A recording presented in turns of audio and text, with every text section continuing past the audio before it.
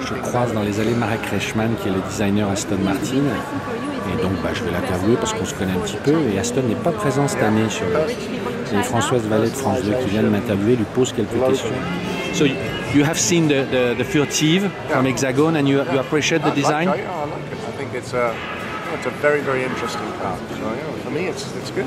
I, I, you know, I like cars that have a slightly different approach or a Yeah. slightly different way of doing something, particularly when they're, it's not a brand that you recognize or know. Yeah. So someone's having to put forward a different brand identity, as it were. So it's very, very interesting. That's great. Because I know they love Aston Martin, so they will be very proud. And, uh,